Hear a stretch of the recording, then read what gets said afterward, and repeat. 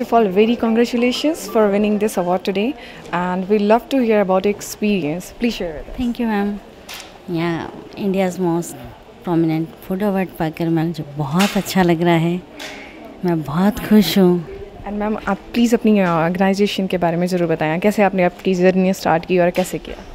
मैंने 2004 में शुरू घर के एक छोटे से किचन से शुरुआत की थी। आ, पहले मैं कुछ घरेलू नमकीन, अचार, पापड़ या सॉस जैम बनाकर सेल करती थी। धीरे धीरे धीरे धीरे मैंने 2007 में एक अपना छोटी सी कुकिंग बेकिंग क्लास शुरू की, क्योंकि मुझे सेटिस्फाई नहीं हो रहा था कि मेरे से कोई जुड़ पा रहा है।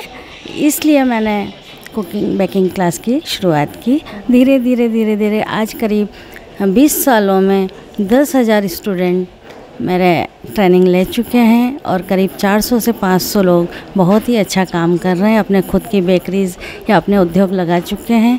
मुझे बहुत अच्छा लगता है। मेरी क्लास में कम से कम सामान और कम से कम इक्विपमेंट में बच्चे सीखते हैं और अपने सेल्फ डिपेंड होते हैं और मैं एक नॉमिनल फ़ीस पे काम करती हूँ।